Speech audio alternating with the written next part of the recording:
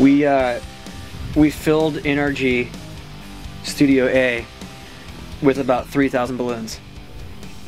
yeah. it was ridiculous, dude. The static electricity in there was insane. We were afraid it was gonna like make the place catch on fire. It was crazy.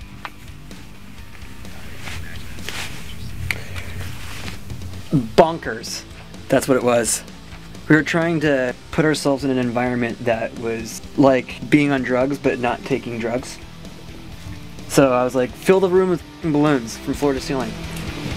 All right, we've got, we've got a thousand new balloons.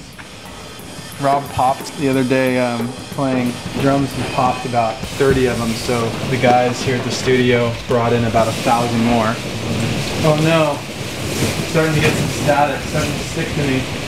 I can feel like my arm hair is like sticking to the.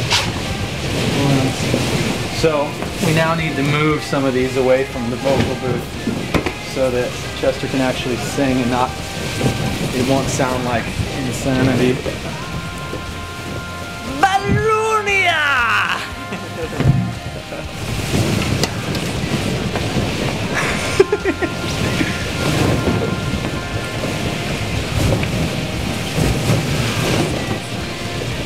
The end